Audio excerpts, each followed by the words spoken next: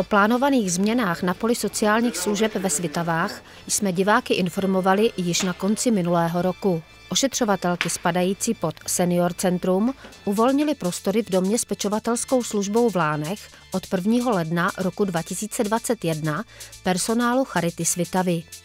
15. ledna se sem stěhovalo i vybavení kanceláří. Ošetřovatelská služba Charity do tohoto objektu přemístí i své zázemí. Pečovatelky budou mít lepší prostředí a mnoha svým klientům budou blíže než do posud.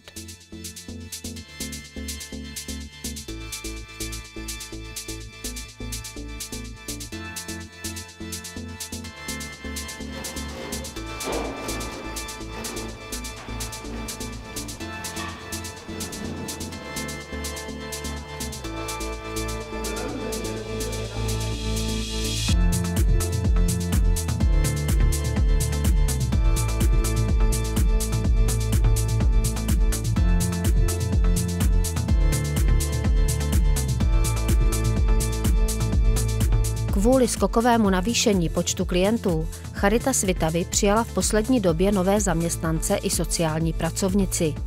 Celkový počet klientů se blíží 170 osobám a pečovatelská služba funguje každý den od 7 do 22 hodin. Zároveň s přestěhováním do penzionu v Lánech se počítá s navýšením počtu pracovníků, kteří zajišťují stále více žádané víkendové služby.